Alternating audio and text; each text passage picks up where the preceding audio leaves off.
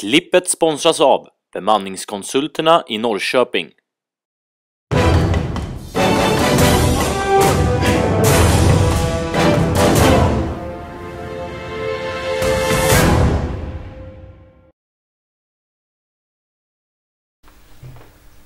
Tja Frippe, direkt efter matchen. 3-3 mot Krokek. Eh, vad är din analys?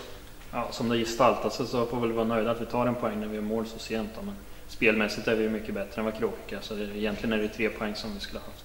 Mm. Tvingas göra några ändringar i startelvan? Ja, tyvärr så är ju John, han går ju sönder på uppvärmningen och han försöker då, men han klarar ju bara fem minuter så vi får ju eh, byta redan då och Örjan får komma in. Mm.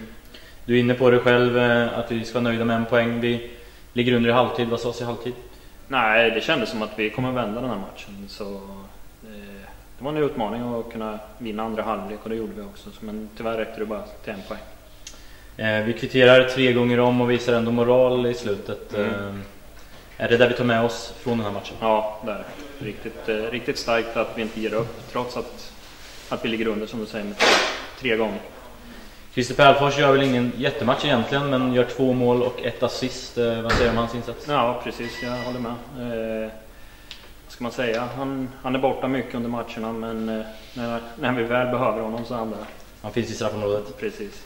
Eh, om du ska lyfta ytterligare någon spelare, vad ja. säger du? Örjan Bäckstrand är ju matchens gigant. Eh, helt klart, det tycker jag. Vi laddar om nu, vi tar en poäng på hemmaplan trots allt och mm. har ringarum redan på fredag. Mm. Hur ser veckan ut? Ja, träning tisdag då, tränar vi lite tidigare klockan fyra då. Och sen vanlig träningstid på torsdag klockan sex, så tar vi ut laget då. Bra, då hoppas vi på en positiv vecka nästa vecka. Ja, det gör vi. Tack så Tack.